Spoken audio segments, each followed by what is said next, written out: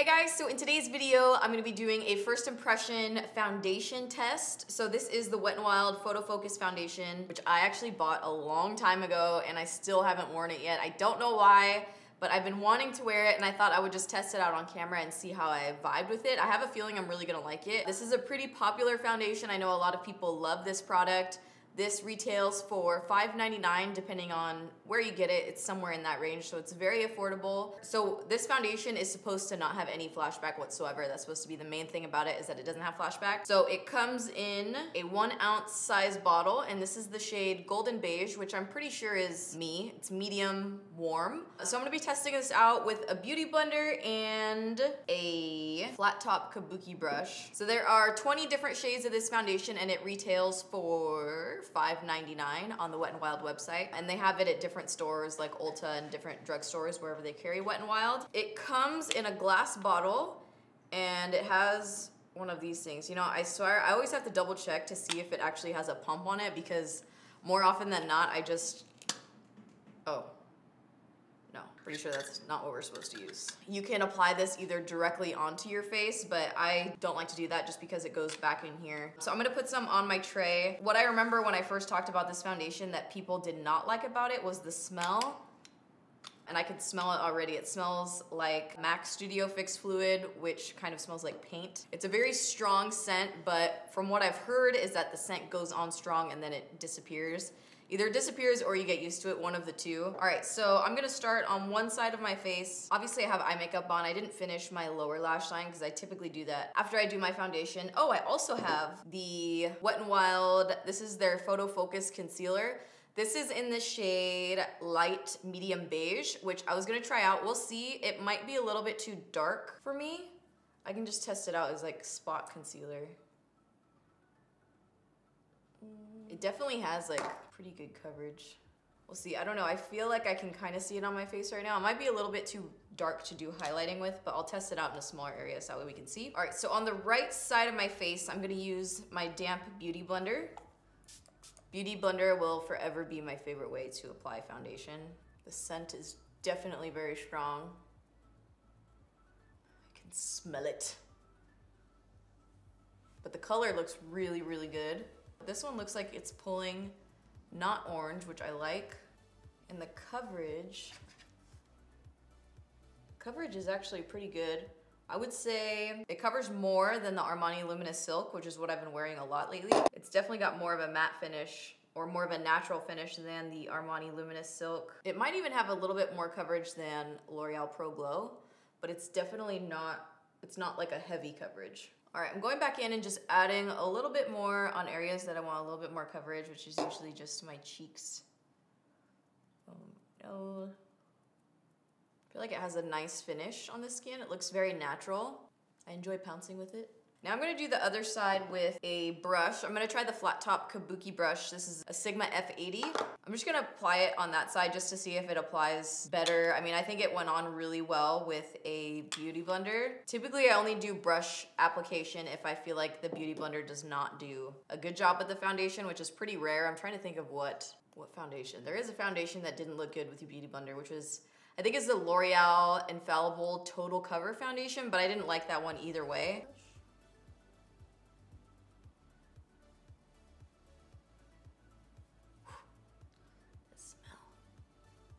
I cover so much more surface area at a time when I use a brush.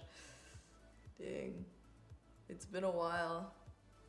I think I like the Beauty Blender because it just feels like, I don't know. I feel like it gives me the feeling of more hydration on my face. But I feel like maybe it gives a little bit fuller coverage, perhaps, with a brush. There wasn't like a huge difference between the two, but let me just come over here.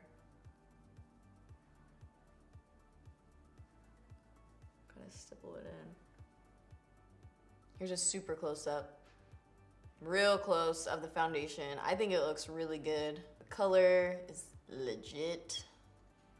It looks good around the nose area. When I try new foundations, I always notice it like right around the nose if, so, if it does something weird, but this one looks really good. All right, so when I'm looking at it in the mirror, I feel it feels a lot more matte than what I'm used to just because I've been wearing Pro Glow and Luminous Silk for so long that it feels more matte on my face, but it still does have a little bit of a sheen to it.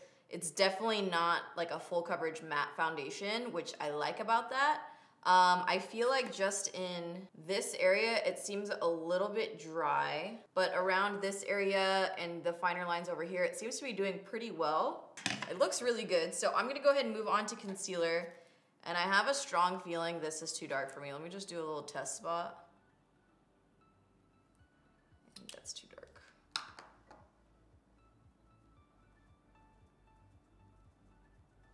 Damn. Yeah. That's gonna be too dark for me to use under my eyes. Unfortunately, I'm gonna grab my handy dandy shape tape, my usual go-to. And this is a Smashbox blurring concealer brush. I like to use this one to get into like the smaller areas, especially if I already have my eye makeup on. Don't wanna be like covering it up with hella concealer, you know? And just buff out this concealer. See how it reacts with the shape tape because that's very important. what would happen if you didn't spray? Well, it was just like a little bit dry, my beauty blender. Well, what would happen? It wouldn't really buff it out as good if it was dry. Would it peel it off? Uh, I don't think so. I just don't think it would be a lot harder. It's kind of like using a dry sponge, you know? All right, nothing's weird happening with the shape tape and the foundation, which is good. I feel like the only time I've ever had like a really weird interaction with concealer and foundation is with the Pro Glow. If you put concealer on top of that, it tends to like lift. All right, so I'm gonna take some setting powder and just dust it on my under eyes, set the under eyes. All right, so now to highlight, I'm gonna use a Wet n Wild highlighter. I love their Mega Glow highlighting powders. I think the one that I use is something Canopy. Can't remember the exact name, but I do really like the uh, Mega Glow highlighters. This is one of their newer shades called Golden Flower Crown. This is right up my alley with highlight colors. And I'm gonna use a fan brush to apply it. And they came out some newer shades too if you like like pinky or they had like a lavendery one not too long ago. And then for blush, I'm trying to use like as many Wet n Wild things I can find because I do like Wet n Wild stuff. This is the Wet n Wild Apricot in the Middle blush, Color Icon blush. Love this shade. This is like one of my all-time favorite blush colors.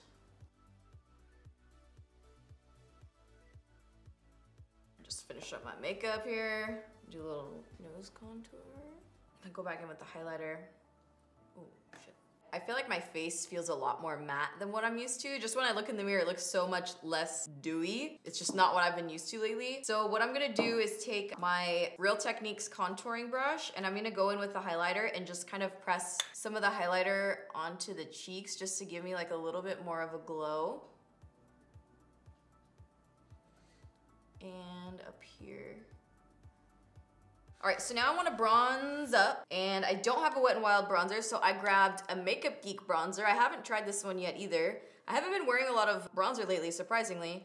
This is Makeup Geek in the shade Tawny, which looks really pretty. And this is a medium skin bronzer.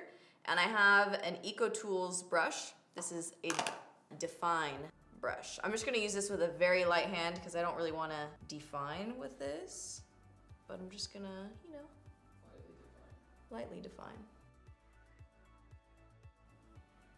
This color looks pretty good for this bronzer.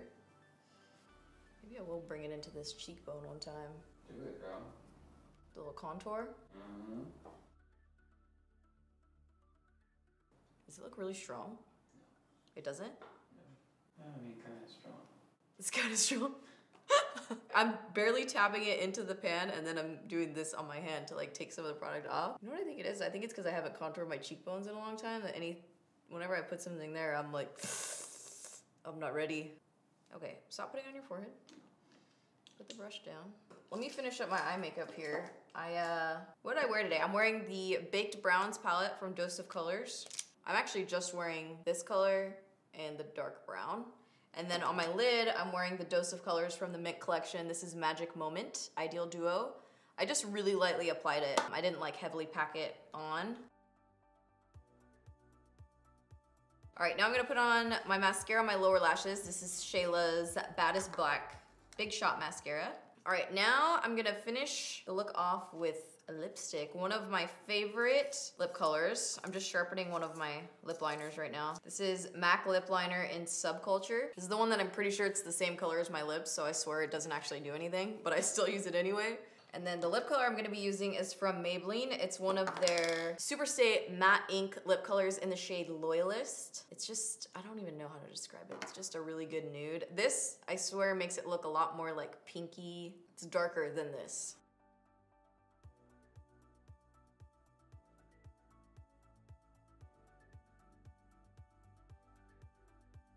Let's give a zoom. Zoom on the foundation. It looks really good. I'm very impressed. Very impressed. It's definitely more matte. I don't think this is actually a matte foundation. I think it's just compared to what I'm used to, but it looks really good. I'm feeling it. I think this is a good one for me. I'm gonna have to give it a, basically an A right now. So you're going on a trip. Is this going in your suitcase? If I'm going on a trip, this would go in my suitcase. She likes it. Although, will it be the only foundation? How much you slow down. This is definitely like a strong medium coverage. I think you could build it up if you wanted fuller coverage, but I think it's definitely got some good coverage. I'm gonna try it out a few more times, but so far, just the application and the rest of my makeup, how everything looks, I really like this product a lot. I'm kind of kicking myself for not trying it for so long, basically, because I think this is a really good product and the price point, you can't really beat that. That's a really good price point, so Wet n Wild, you did that. Killed it. So that is my first impression on the Wet n Wild foundation. I'm gonna have to give it a big thumbs up. I like it. So let me know what you guys thought in the comments down below. If you like this foundation, if you already wear it, or if you don't like it, hit me up down below. Let me know your thoughts. I really hope you guys enjoyed this video, and thank you so much for watching. No, what- Rolling. Still rolling. Still rolling.